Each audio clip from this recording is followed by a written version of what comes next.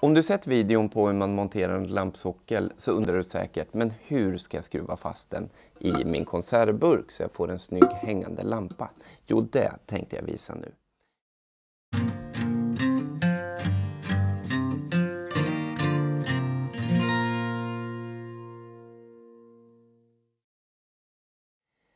Första vi gör är att montera bort lampsockeln. Och sen så har jag min jättevackra burk här. Det jag vill göra är att jag vill klämma i hållaren här uppe och sen så kommer jag skruva här utifrån genom plåten in i träbiten för då sitter träbiten fast. Och det kämpigaste med det, det är egentligen att mäta ut det här. Alltså var någonstans ska jag borra och var ska jag skruva? Så det jag behöver är en körnare för att märka ut hålen och sen behöver jag ett borrstöd tills när jag ska borra.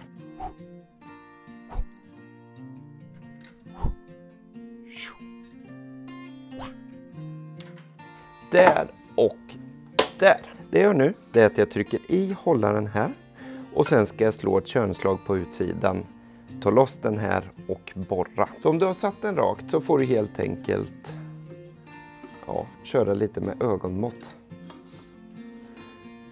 Det jag vill ha är att jag vill ha två skruvar på varje sida för har jag bara en skruv så kommer den här kunna rotera. Så den sitter mycket bättre med två skruvar. Så jag är försiktig och vänder på den.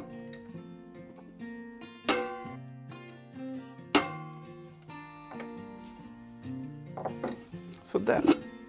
tar vi ut den, sätter i borrstödet och sen kan jag borra. Nu har jag valt ett borr som är lika tjockt som skruven. För jag vill ju inte att skruven ska dra i plåten utan den ska gå rakt igenom plåten och sen dra i trät. Står upp, har gärna förkläde, håller borren mot magen så jag är stadig och så borrar jag.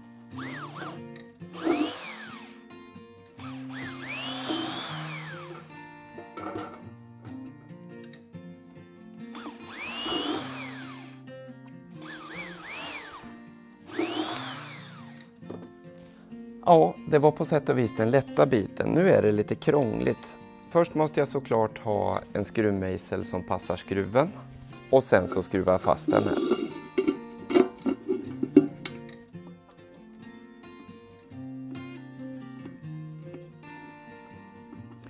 Jag drar inte i den första skruven riktigt helt för att jag vill se att allting sitter bra innan jag drar fast den som berget. Så jag drar i den första helt och sen så fortsätter jag från andra sidan.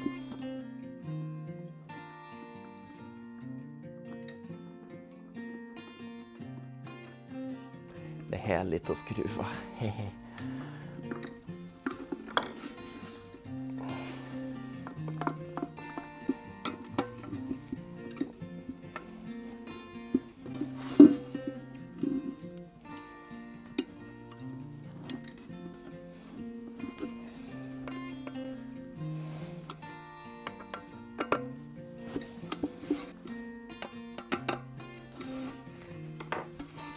Sådär ja.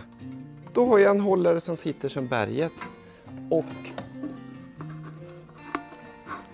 om jag klämmer i min lampa här så har jag plötsligt en hängande lampa. Nu är ju inte den här så jättevacker men du klarar säkert att göra någonting snyggare. Lycka till där ute och ta hand om dig.